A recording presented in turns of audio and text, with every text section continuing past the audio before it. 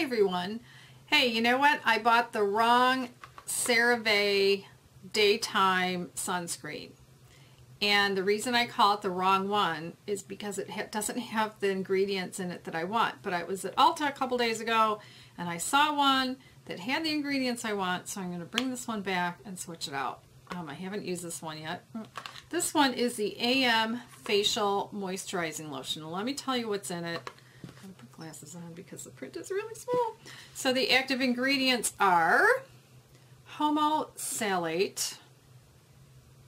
I'm trying to read these. Hmm. No, no, no. I got this. Let's see. Um, octano, octinosate, O-C-T-I-N-O-X-A-T-E.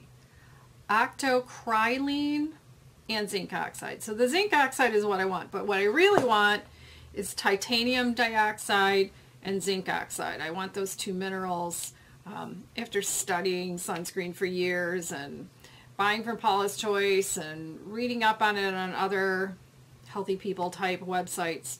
Those are the two things I want. So these other things that end in ATE, these are more chemicals. So I'll be right back and I'll show you which one I got instead. This is the one you want from CeraVe. It is the sunscreen invisible zinc. That's what it says. Anyway, this has titanium dioxide and zinc oxide, good percentages of both. Um, it says invisible zinc, but even if you put this on your face and it's a little whitish at first, it will absorb into your skin and go away.